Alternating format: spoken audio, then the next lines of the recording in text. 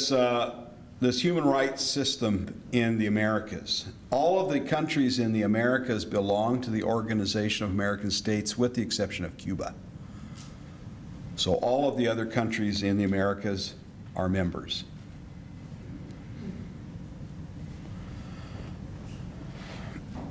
The, um,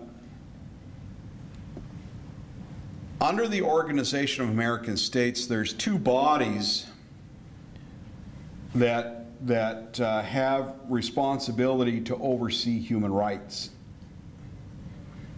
There's the body that we're currently before, which is the Inter-American Commission, and there's also an Inter-American Court. The court has jurisdiction over countries that have signed on to um, the covenant. The covenant? Uh, the convention, the convention on human rights.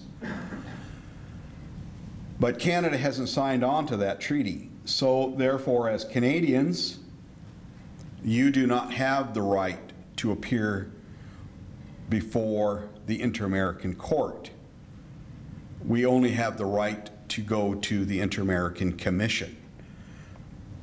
So, you know, one of the areas I think that needs to be seriously looked at is, you know, should Canada sign on to that document? And as Canadians, do we feel that that is something that should happen.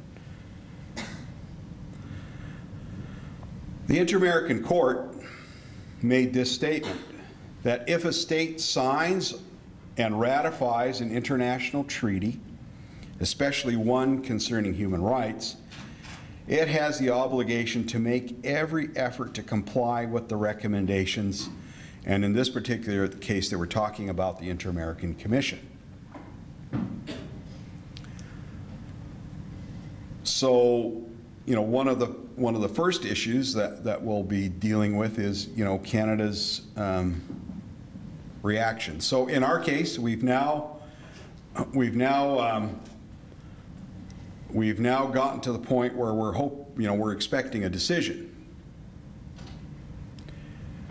and that decision by the Inter-American Commission it will be up to Canada to decide how they're going to deal with it.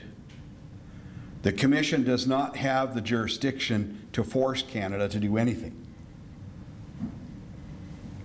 So, you know, this statement by the court is that when a country signs on to a treaty, an international treaty, especially one that deals with human rights, they have an obligation to make every effort to comply with that commitment. Now, when we think of human rights, you know, do we think of Canada as a country with some very major human rights problems? Or, or do we think that things are pretty good here, that we really don't have any significant human rights problems? And the government of Canada is pretty good about pointing fingers, you know, at other countries. You know, this country, this country, this country has human rights problems.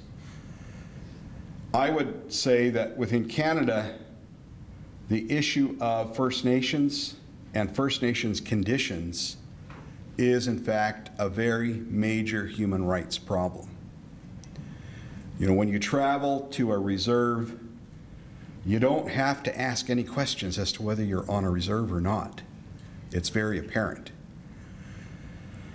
When you look at the statistics, you know, First Nations people are high in all of the bad statistics and low in all of the good statistics. So, you know, when we think about human rights, and when we think about human rights within our own country, you know, we don't need to, to think that there are, there are not, in fact, major human rights concerns here.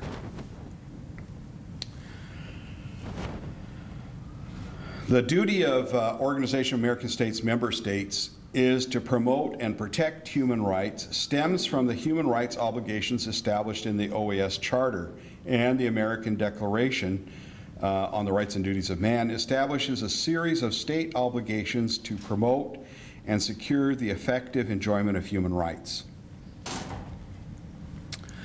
So the Hul'qumi'num leadership made the decision that we would go the international route, that we were not satisfied that the domestic system would be able to deal effectively with our issues. The Inter-American Commission recently re, uh, released this report.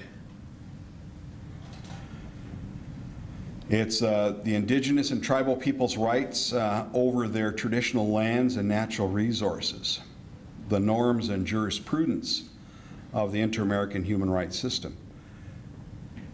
For those of you that have a, an interest in this area, it's a great report. It's online.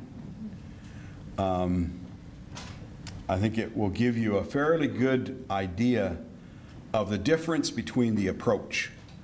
The approach of the domestic legal system and the approach of the international legal system and how different they are.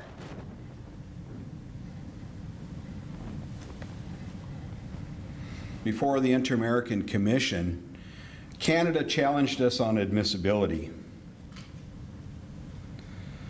So one of the requirements of going before an international body like this is that you have to uh, exhaust all of your domestic legal remedies, which means that you have to go to court in your home country before you can go to the international forum. One of the uh, there is a, an exception, and the exception is if the commission is satisfied that there are no adequate, effective, available domestic remedies. That's the test. If you can satisfy that test, then you can go to the Inter-American Commission without going to court in your home country. The Hul'qumi'num did not file one document um, with respect to this in a Canadian court. We completely bypassed the Canadian legal system. So Canada argued that, well, you know, the, the petition should not be heard, should not be heard by the Commission due to the fact that they argued that, in fact, there were available, adequate, effective domestic remedies. Canada argued that the Hul'qumi'num could go to court in Canada. They argued that we're in the treaty process and we might be able to achieve a treaty. The counter argument that we put forward was, well, you know, um, there has not been one court in Canada, as I said, that has recognized First Nations title. There has not been one court in Canada that has ordered Canada to um, establish that title legally and that we've been in the treaty process now for 20 years almost. That the vast majority of First Nations in British Columbia have not been able to reach agreement with the government on this issue. And that the government comes to the treaty tables which, with such predetermined outcomes, such predetermined mandates and policies, that it makes it impossible to reach agreement. So we argued that in fact we met the test. As part of our, our work that we did uh, in taking this forward, we reached out to other First Nations because we knew that we were not the only First Nation that had this experience. And so within that system, um, there are other individuals or organizations that are able to uh, file what is called amicus curiae briefs, friends of the court. All of these nations filed amicus curiae briefs in support. All of those nations and organizations all said the same thing. All had the same experiences all had the same problems. And, and all of that evidence was led before the Inter-American Commission. We had support right across British Columbia. We had support from the Nunavut. We had support from, uh, from the, uh, the AFN in, in Ottawa. um, uh, from many, many uh, areas. And then we reached out and were able to gather support from human rights NGOs, from Amnesty International, from Lawyers' Rights Watch Canada, who also filed amicus curiae briefs in support. With all of that, the Inter-American Commission made a ruling on admissibility, and these are some of their comments. They said by failing to resolve the Hul'qumi'num claims with regard to their ancestral lands, the British Columbia Treaty Commission process has demonstrated that it is not an effective mechanism to protect the right to property alleged by the HTG. Very significant statement. The second, that there is no due process of law to protect the property rights of the Hul'qumi'num to its ancestral lands. Now that one ought to shock you. You know, you would, you would think that in Canada, that in fact there is an effective due process of law. We've got courts, we've got judges, we've got lawyers. But the commission said no, they were not satisfied, that there was in fact an effective due process of law. The, uh, they stated the Canadian court cases on Aboriginal title do not seem to provide any reasonable expectations of success because Canadian jurisprudence has not obligated the state, that is Canada, to set boundaries, to demarcate, and record title deeds to lands of Indigenous peoples. And therefore, in the case of the Hul'qumi'num, those remedies would not be effective under recognized general principles of international law.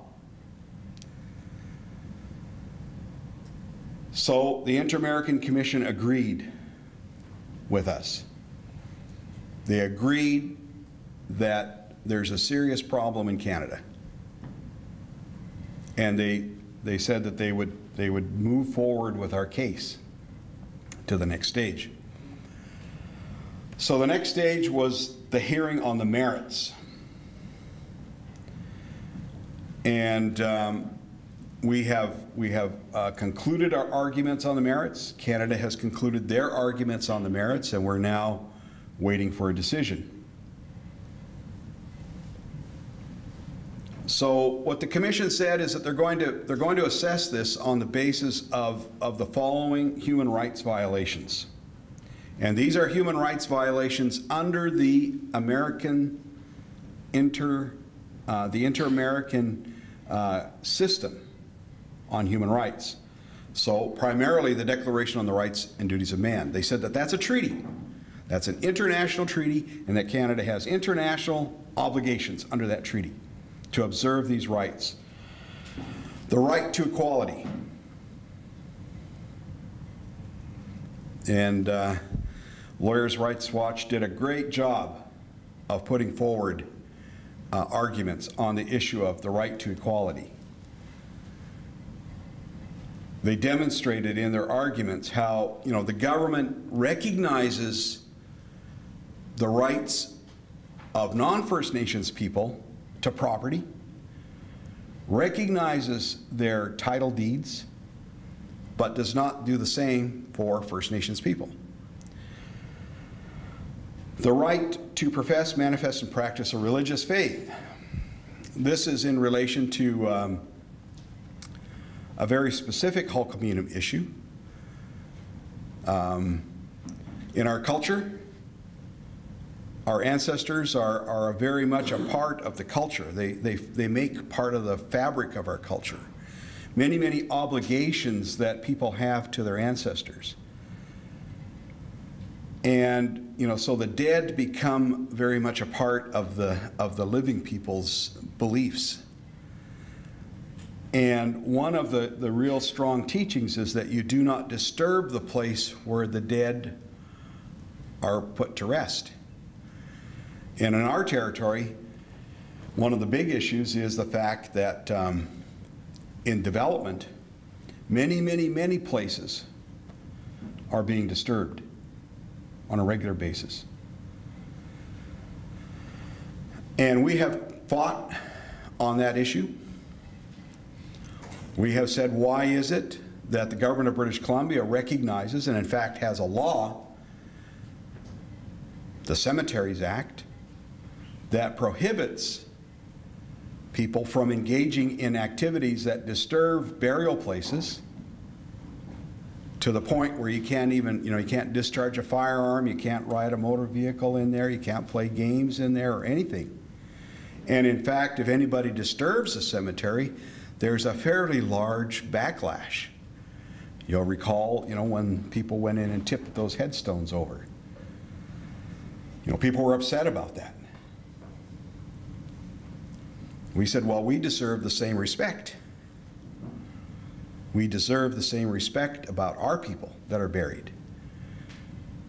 But the government does not recognize that. So that's one of the rights that we brought forward. The right to culture the right to property. So the Inter-American Commission is in the process right now of assessing whether Canada has in fact breached our rights. If they have breached our human rights, then how will that get rectified? This is the first case from Canada to make it this far. I believe ours is the first case that's been brought forward dealing with indigenous land rights. And now, you know, we simply are waiting on a decision. And we hope that we'll have a decision soon, but we don't know. We don't know how soon that will come. So in terms of next steps, you know, implementation is, is going to be a, a vital part of this. If there's a positive decision from the Inter-American Commission, if in fact they say, yes, we agree that there in fact has been a violation of Hul'qumi'num people's rights, and the Inter-American Commission has already made rulings on indigenous land rights from uh, Nicaragua, from Belize, from um, Paraguay, and other countries, primarily in Latin America, and in very similar situations to the one that the Hul'qumi'num find themselves in. In one of the cases, uh, I think it was the Saramaka case, they said that, you know, if a state confiscates indigenous people's lands, which we say they did, they have an international obligation. They either have to return those lands or they have to replace those lands or they have to make compensation for those lands. That's their international legal obligation. So if Canada, if, if the Inter-American Commission makes a positive ruling in our favor, then it will be up to Canada to implement it. And as I say, they could decide to ignore it. They could decide that they're not going to comply because they have no uh, no mechanisms of implementation. So as Canadians, I think what you need to understand is that in terms of human rights and human rights obligations under the international legal system, Canada does not have any effective mechanisms to implement that. There's no Canadian legislation to implement the Declaration on the Rights and Duties of Man. So it all becomes very um, much a question of discretion of the government in power. And the protection of human rights in Canada becomes a question of the discretion of the government in power. They could decide, you know, to violate whatever human rights if, if in fact they can ignore the Hulk, you know, if, if Hul'qumi'num people get a positive decision and choose to ignore it, then presumably they could choose to ignore anybody's human rights. Again, we have Amnesty International and other human rights organizations that are supporting us. We have other human uh, First Nations supporting us. But we feel that it is necessary to build the knowledge of and the credibility of the Inter-American Commission. The comments that we got from the government to one of our chiefs is, what are you doing appearing before that obscure group in Washington?